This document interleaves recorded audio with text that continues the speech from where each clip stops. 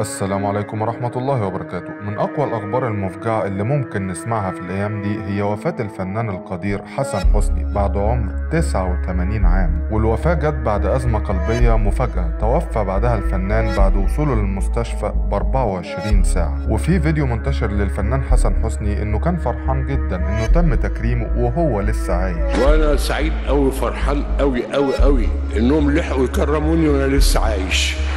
وفيديو تاني للفنان الراحل لما كان بيرد على شائعات وفاته اللي كانت منتشرة من فترة.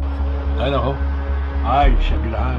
اسمي حسن حسني. والله لسه عايش محبوب وعارف أنتوا بتحبوني وطبعا الفنان حسن حسني عاش يرسم الضحك على وشوشنا وبعد وفاته محدش هينساه. ونيجي بقى للمشاهير اللي عزوا الفنان حسن حسني. بغض النظر عن الترتيب أولهم الفنان آسر ياسين اللي كتب تويتة بيقول فيها الله يرحمك يا عم حسن يا جميل يا مبدع يا طيب يا صاحب السيرة الطيبة. والفنان صلاح عبد الله بيعبر عن حزنه الشديد وبيقول هو أنا مش كلمتك قبل العيد واطمنت عليك وطمنتك عليا وحلفت لك إني كنت كويس دلوقتي أنا مش كويس وبحاول أستوعب المفاجأة. والفنان رامز جلال كاتب تويته ربنا يرحمك يا عم حسن ويدخلك الجنة ويبدل سيئاتك حسنات. والفنان تامر عاشور كاتب تويته اللهم اغفر له بمغفرتك وارحمه برحمتك واجعل مثواه الجنة. والفنان أحمد حلمي إنا لله وإنا إليه راجعون ربنا يرحمه. والمعلق الرياضي فارس عوض بيقول إن الفنان حسن حسني ظل في مسيرته 50 سنة وإنه كان كبير حتى في أدواره الصغيرة وإنه أحد أهم عمالقة الفن العربي. رحمه الله رحمة واسعة